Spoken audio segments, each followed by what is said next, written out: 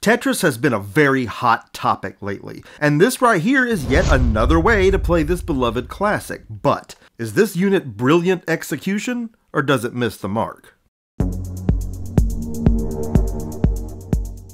Today we're taking a look at the new Tetris Micro Player Pro from our friends at My Arcade, and at a glance, you gotta admit this thing does jump right off the shelf at you.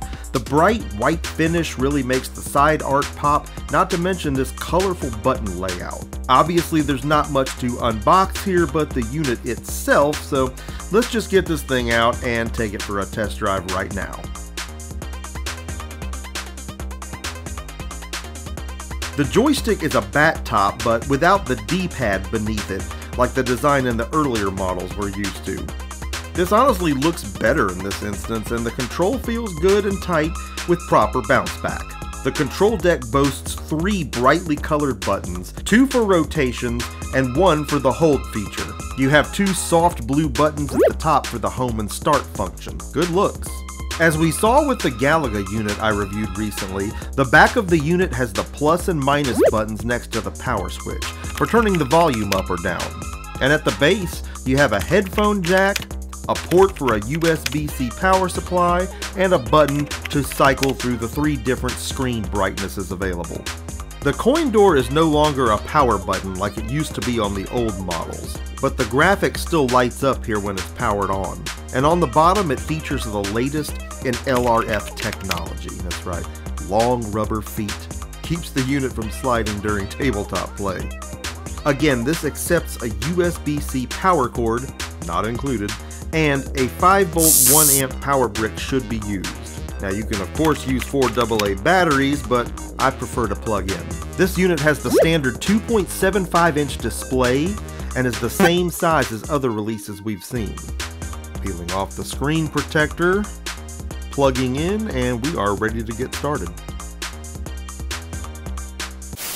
screen looks good. You go right into a settings menu that allows a handful of ways to customize your experience. This is a version of Tetris curated specifically for this device, not a ROM of a past iteration. And while you obviously can't be nostalgic for a version you've never played, this is still a very fun and playable version of the game, reminiscent of versions from Gen 5 and 6 consoles. The sound slaps with a heavier bumpin' version of the original riff and quality in-game sound effects. The gameplay is pretty much what you're expecting, but the handling is on point, so here again, you get a playable game and not just a novelty. The settings screen features a stage select, a handicap option with multiple difficulties if you want to live dangerously, and the option to turn the ghost piece on and off. So set your own challenges and play your own way. This unit retails for $39.99 just like past releases have. But it's on sale right now on Amazon for only 30 bucks. So if you want one of these, the getting's good. And I've included a link in the description of this video for you. What do you think of this thing? And have you bought similar My Arcade units in the past? Comment below and let me know because you know I love getting a conversation going with you right here on the show. You know, one thing this unit unfortunately doesn't do is it doesn't exactly scratch a nostalgia itch all the way because this isn't any of the classic Tetris versions we jammed on coming up.